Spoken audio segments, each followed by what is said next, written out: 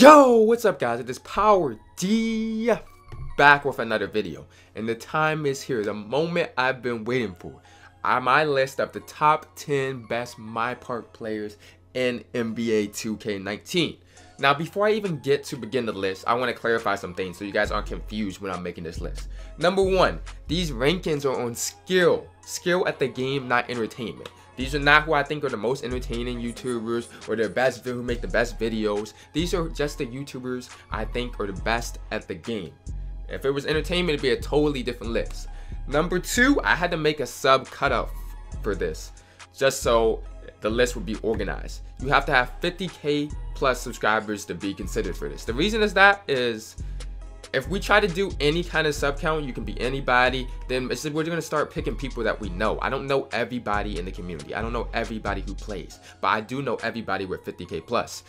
I don't want I don't want somebody being like, oh, this guy with 500 subs is super good, and he's now on the list because I never heard of him. You know what I'm saying? I can't know everybody. So this is just a list of people that are 50k plus, bigger YouTubers, and who I think are best at the game out of them. Number three, it's my opinion. You know what I'm saying? It can't be wrong. don't go over here and be like, oh, you're wrong. This person is no. It's my opinion. So I don't know. I don't know want to hear already. I don't want to hear that already where people are complaining about how I got something wrong or this person should be on top. It's literally my opinion. Number four, if you guys want me to do like a My Park Awards thing, kind of like a Lando thing, I'll do something like that. If you guys like this video, there's gonna be 4,000 likes on this video. I'm hyped about it. Y'all can comment what kind of changes you guys would make in this list. Who do you think should be higher? Who do you think should be lower? But like I said, it's my opinion. So if you don't like it, get over it, man. But let's get into the video. Yeah, yeah, I'm feeling your energy. And Shorty, man, she really into me. I got lots of enemies, and they wanna act like they friends with me. Okay, guys, so coming in at number 10, I have Gawd Triller. He's good. He's to me, he's one of the best scorers in the game. He knows how to do everything on offense. He knows what works and doesn't work. He's played a lot of comp this year. I have to give him credit. He played Tyceno. He beat him 3-0 in the series. He um, won the Troyden's tournament. I remember he won that one or two times.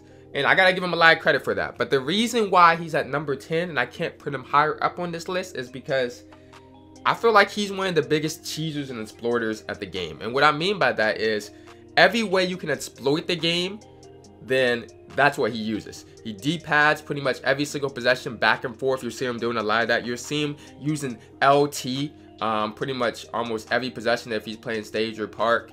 Um, and also when pushing was out, I remember there was a controversy because a lot of times he would push in these tournaments the win. Now, obviously it's allowed, but at the same time, it's kind of a scummy thing to do. And I feel like his game depends a lot on using these exploits, like LT and D-padding. And I feel like the people in front of him on his list, even though he's good, I feel like they don't depend on those exploits as much as he does. Now coming in at number nine is Duke Dennis. He's one of the most unique scorers in the game, and I'm impressed by how he chose this archetype because in my opinion, a shot creating stretch is a better build than a pure stretch. So the fact that he chose this at the beginning of the game and basically at 99, his archetype is unstoppable. He plays different. He can do everything a pure stretch can do, but he can do these fades, the step backs. He has so much more moves in his arsenal than a normal stretch does. And that's why he has to be up here at number 9.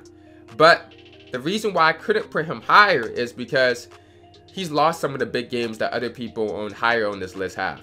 Number 9 is very high, but he lost this Tyceno 3-2. So I haven't seen him been proven against those top people that um, put him higher on this list. Coming in at number 8, I have Bandit. That's I know Bandit. Now, he's very skilled. He's one of the best point forwards in the game, in my opinion. He's one of the best dribblers in the game, in my opinion. He's played a lot of comp. He's beaten a lot of comp. He beat T-Jack two times. He I think he swept him twice. He beat him 2-0 twice. Earlier in the year, later in the year, he's consistently beating them. Um, when T-Jack's a very good player with a high win percentage. He's played Nadex, and he's won some games. He's lost some games. It's been kind of on and off his passing IQ really impresses me because a lot of point forwards are good, but it's like a lot of point forwards are just so focused on themselves and dribbling and they just forget about their teammates. Bandit is a great passer. If you're open, Bandit's going to hit you every single time. You cannot you cannot ball watch on Bandit. You just you just can't do it. You can't do it. He got that Hall of Fame dimer. He has Stumpy as his duo, Stumpy and Bandit. Once Stumpy and Bandit got together as a duo, I haven't seen them lose much at all.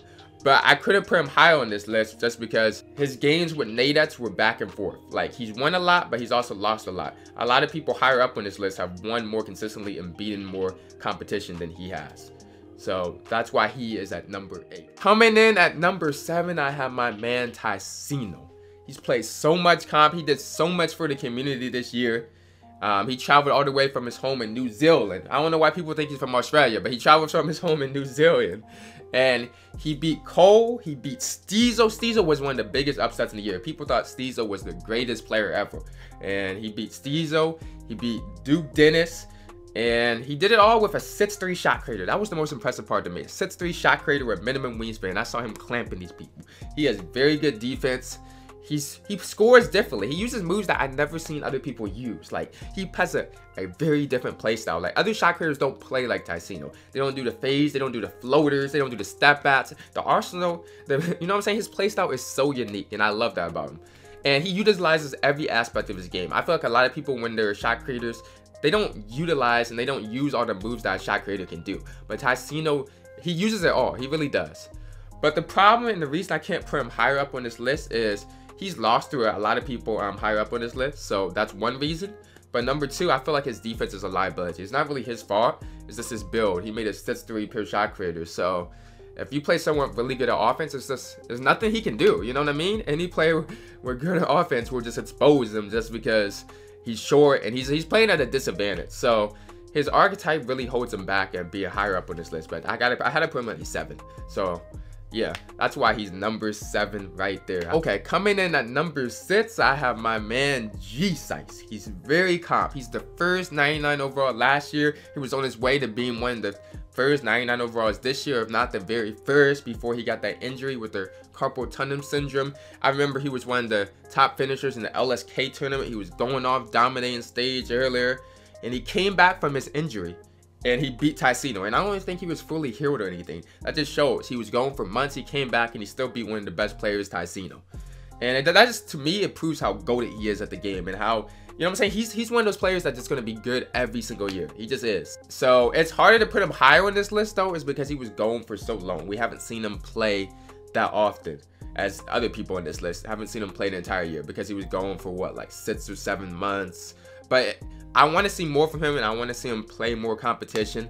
But if he had, if he had been here the entire year, he would definitely be higher. But that's why I have to keep him here at number six. Okay, and coming in at number five, I have Hank the Tank. He's one of the best play sharps in the game, in my opinion. He won Jordan's tournament like literally multiple times. He won the finals. He won multiple times before that. He's won with different kinds of people. Him and Hollywood played great together. I've seen him win with other people. I saw him finish very highly. I think he was runner up in the LSK tournament at the beginning of the year. He's beaten a lot of comp. He went away from 2K for like two or three months. I remember he had an upload. He came back and he still beat Tyceno. That was impressive to me. There were some questions about that game, how Tyceno was playing around and everything, but you still have to give Hank credit for him winning that game. And to me, he's been consistently good for multiple years. He's somebody that I've seen be good in 18, be good in 17, be good at 19, be good at 16, be good even like 15 and 14. Every single year, it seems like Hank has been good to me. But it's hard for me to put him higher on that list just because he took a big break from that game from two to three months, and he hasn't been playing competitively recently. He's kind of just been chilling, just uploading his videos, playing some Fortnite. So uh, people higher on this list have been playing competitively more often than he has. So that's why I have to keep him at number five. Okay, coming in at number four, I have Lamonsta. La Monster, Lamonsta, La Monster. He's one of the best. He has one of the best records on the game. He has a 95 win percent. So that's actually insane. He beat Tyceno 3-1 in their 2v2 matchup when Tyceno was playing everybody. Even though he, the impressive thing about me, to me about that was that he, he doesn't really play twos that often. He's pretty much a threes player. Um, he plays with Flow Jerk and a stretch usually. But it's the fact that he went on twos and won that that was impressive to me. He to me he's also one of the smartest players and he plays with a lot of IQ. Like I feel like I feel like he always makes the right pass. He always makes the right choices. Like, you know what I mean? He's one of those people that plays very smart. And but the reason why I couldn't put him higher personally is because we're getting really high in the list right now. We're at number four. And it's like he feels one-dimensional in the way he usually plays threes. And he doesn't play threes, twos. It doesn't seem like he plays all the modes as the people higher on this list is. And his game isn't as well-rounded as the people above him. Like, I feel like he's a very good offensive player, but I feel like his defense is held back a little bit by his archetype. So that's why I have to keep him at number four. Now, number three, this isn't biased at all. I'm just being real. Number three, I have Grinding DF. To me, he's one of the best stretches on the game. He gets open, like he gets open extremely easily. But the reason I had to put him up here is because he does it without using a lot of the exploits that you'll see other stretches use, like the D-pad and back and forth. Grinding like almost never D-pads. He doesn't. You have to use LT to get open. He just, you know what I'm saying? He does it with all the glitches and exploits, the pushing. He never pushed, and he does it. He's, he's one of the best stretches to me at like shot selection. Like a lot of stretches what I'll see is stretches are a really good archetype. They're overpowered archetypes. But a lot of stretches don't realize what you can shoot. They'll only shoot if they're like completely wide open. Grinding knows what shots may look contested or may look like he's being guarded, but he knows what he can still make. He pretty much like he's show he's shown what kind of shots stretches can make. And I feel like a lot of stretches really can't shoot the shots he does or don't know when to shoot like he does. He's also, to me, he's like a super smart player. Like a lot of people just waste moves. I feel like he plays super smart. He always makes the right pass. He always makes the right decision. He doesn't force shots or spam unnecessary moves. And that's what I like about him. Now, he, the comp he played, he beat T-Jack 2-0 with me, of course. But, and he's consistently beating comp throughout the year. I haven't seen like grinding lose or somebody beat him in like a comp game like this entire year. It's hard to think. Like, I, I can't think of anybody to just pull up and beat him in a comp game. So every time he's been faced with those competitive games, he's beating them. And he has a bit, but the reason I can't put Grinding higher up on this list is he has a very offensive oriented build. He's a pure stretch. He's one of the best offensive players, but it's like a pure stretch can't really contribute that much or change the game on defense. And he can't really rebound or help in that other way. So his benefits to the team are mainly limited to offensively, and he cannot impact the ball defensively the same way as people higher up on this list, the number one and number two spots can. So that's why we're gonna have to keep him at number three. Now coming in at number two, oh, I have Poi Boy Sense. He has the most wins in NBA 2K19 with a 93 win percentage. He wins, it's hard, like, he wins, like, every competitive game against any kind of lineup. He consistently wins. He plays a million games. He's played almost every kind of lineup you can think of, and he just continues to win, win, and win. To me, he's one of the most well-rounded players. Like, yeah, he's a good offensive player, but what impresses me the most about him is his defense. You know what I'm saying? He plays very good defense. Most YouTubers, what you'll notice is a lot of people think they're good because they are very good offensive players. Like they can score the ball. Like all these people can score the ball. A lot of YouTubers can score the ball. But what I see from Sin is he plays super good defense. His defense is amazing. You know what I'm saying? And he plays so efficient. Like he doesn't spam unnecessary moves. A lot of people just hate that and try to diss him for that, but he doesn't spam any unnecessary moves. He doesn't need to score. He just scores. He just wins. And I, love that. I, I actually do.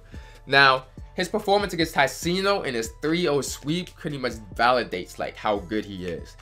That's to me is what all the other play sharps and bar handlers should have done. he just he just dominated. He, he clamped Tyceno on defense. He dominated on offense. It was the whole package. But why I have to keep him at number two is because his location on West servers. I haven't seen him play a lot of the known people on this list that um, other people have just because of he's been on West servers. And the thing about West servers, people don't understand. If he plays against people on East, then he's delayed. If East people play against him, they're delayed. So we haven't seen him play a lot of the known YouTubers that others have. But that's why I have to keep him at number two. Okay, now I want to go over my honorable mentions. And these are guys that are really close to the top 10, but they didn't quite make it in before we get to the number one spot. Number one in honorable mentions is Steezo the God. He looked very good in his clips, and he, a lot of people thought he was one of the best players, or probably the best player in the game for a while. But the reason why I couldn't put him higher on this list is because I looked very heavily in um, this video at competitive games. Have we seen you play live? You know what I'm saying? A lot of people can edit. I know how YouTubers do. A lot of people can edit and make themselves look better than they are. But when you play live, you can't change how you are. It's just your game really shows. So when he lost to Tyceno and he, to me, he struggled to score against a 6'3 guard with minimum wingspan, that prevented me from putting him higher on this list. But there's always next year. So he could probably make it next year. Next on this list for honorable mentions is Joe Knows. To me, he's he's one of the most versatile. He's probably more versatile than everybody on this list. Like he's good at many archetypes. I've seen him play point forward. I've seen him play stretch. I've seen him use all these accounts, and it seems like every single one he's still he's just good at. But the reason why I couldn't put him high on this list is I don't I don't really know where archetype to rank him in. You know what I mean? Because it's like he's good at so many different things, but if I compare him on one thing, it's like his point forward is what he mainly uses now. But I don't think he's a better to point forward than guys like Bandit and Sin, even though he's a good point forward. You feel me? So I feel like if he focused more on one archetype, and I could see him being the best at that archetype, then I could put him higher or on this list. But next for the honorable mentions is G-Man. G-Man is good in my opinion, but I couldn't put him on this list because I haven't seen him play many competitive live matches this year where he just plays. I he didn't participate in the Tyceno thing. I didn't see him in the Jordan thing. I didn't see him play like competitively in a game that mattered. So I want to see more of him playing live, but it's hard to put somebody on one of these lists like objectively if you don't really know and you haven't seen them play live. So I had to put him on here in the honorable mentions. Now, next is T-Jack. T-Jack's a good shot creator. He has a 90 plus win percentage. But the reason why I couldn't put him higher on this list is because he doesn't use the variety of moves. I don't feel like he completely utilizes the shot creator ability like a person like Tyceno does. And one of his things is he often ignores his teammates wide open. I'll see like if he gets double team, he won't he won't pass to the person wide open. He'll just put up the shot and he's one of those people that's like get the free board. He, that's how he plays.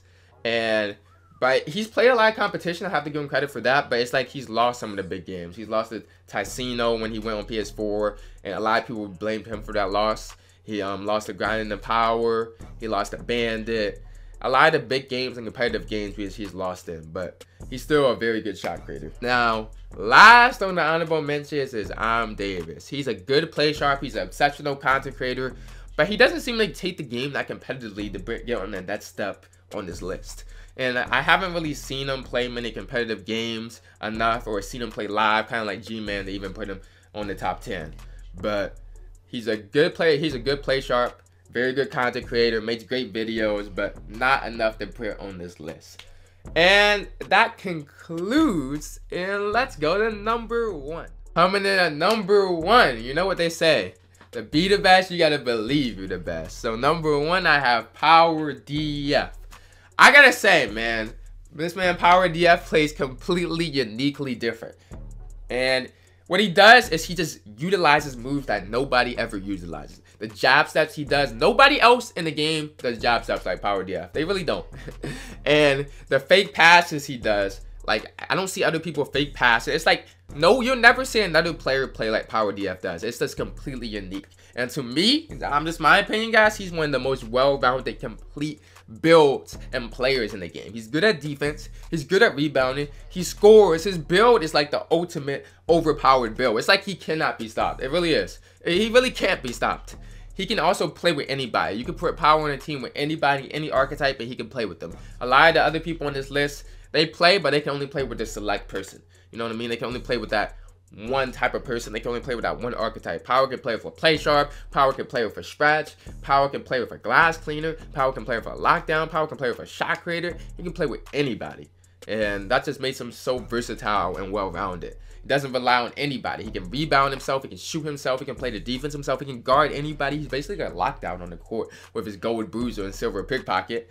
And he's won with multiple people. He's won competitive games. He's won big games with grinding. He's won with IQ. It seems like anybody on this team, he just wins. He wins with everybody.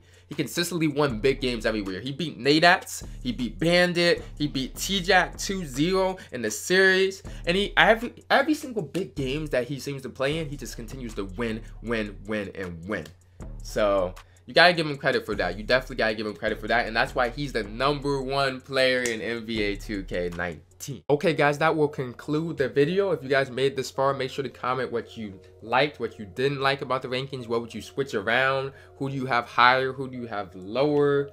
Who do you think deserved the spot that wasn't even on the list? And remember, if you guys like these type of things, I, if we get 4,000 likes on the video, I will do a My Park Awards thing like Orlando did. It's gonna be lit. Hope you guys enjoy it, and I am out. Like, I can't be trusting cause people be switching and stunting. I had to go get me some money, they always was fronting. I had to stay up to sign. I never trust, I've been nice. She seeing that drip on the bone, make sure she won't call.